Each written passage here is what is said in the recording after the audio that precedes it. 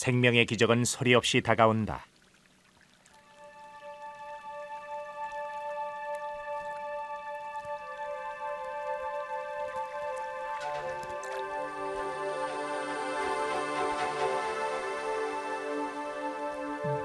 왕 잠자리 애벌레는 오직 이 순간을 위해 물속에서 1년이란 긴 시간을 보냈다.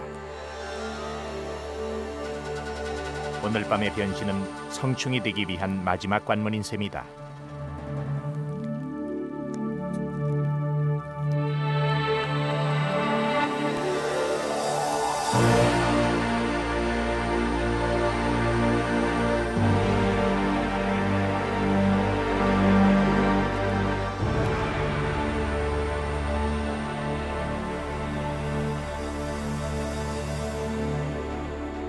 아직은 초라한 몰골.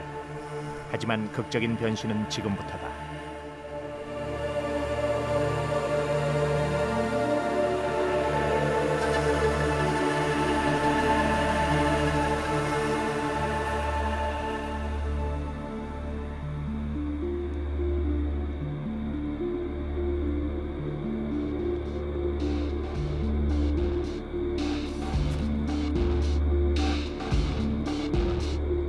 날개는 잠자리의 미래.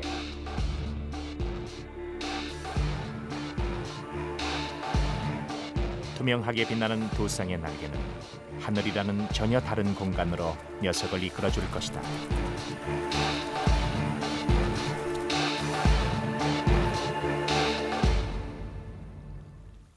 이 무렵 연못가에는 잠자리들의 희비가 엇갈린다. 쇠척범 잠자리는 지독히도 운이 나빴다. 우화 도중 곰개미의 습격을 받은 것이다.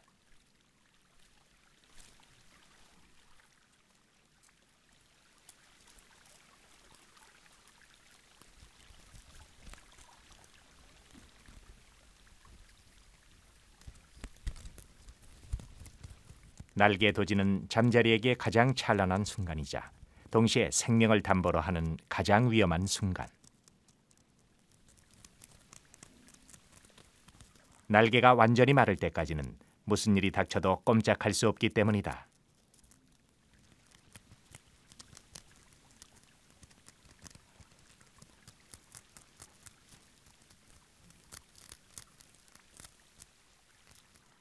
우화는 이미 힘들어졌다.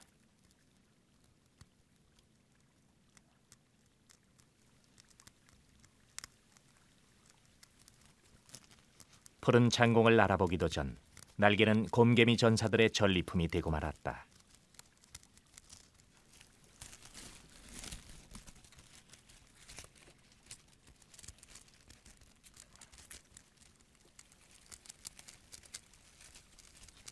사실 잠자리가 우하에 성공할 확률은 불과 30% 남짓. 10마리 중 7마리는 날아볼 기회조차 갖지 못한 채 생을 마감한다.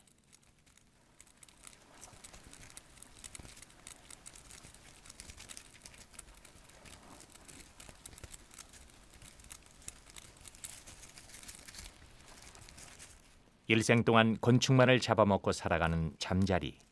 그러나 제 몸집보다 작은 개미의 먹잇감이 되고 마는 현실.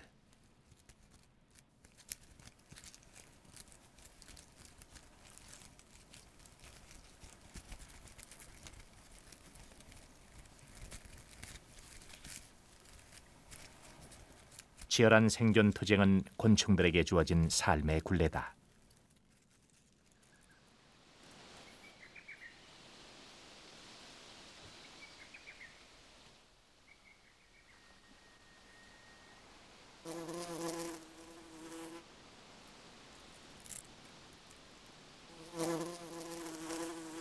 여기 작지만 아름다운 생명들이 있다.